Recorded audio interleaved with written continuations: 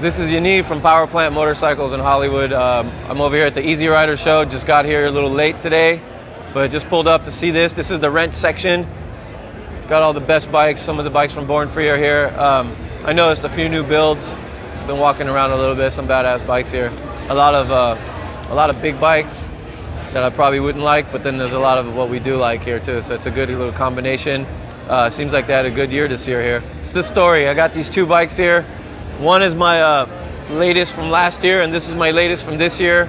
Um, basically, this one just the panhead just got back from Japan from the Yokohama show, and uh, literally got here the other night, so I got to display it again. Um, pretty much, I've milked these bikes out as much as I can. They've been to like every show around the world and back, and now it's time to uh, ride them. And uh, I got to hand off the shovel head to the client.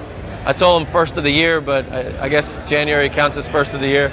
And uh, after that, got to start building something new. I got some new works in, the, in, in, my head, and that's the important part. Is I got a new new idea to do, and uh, I guess it's time for these ones to go and to see the new stuff next year.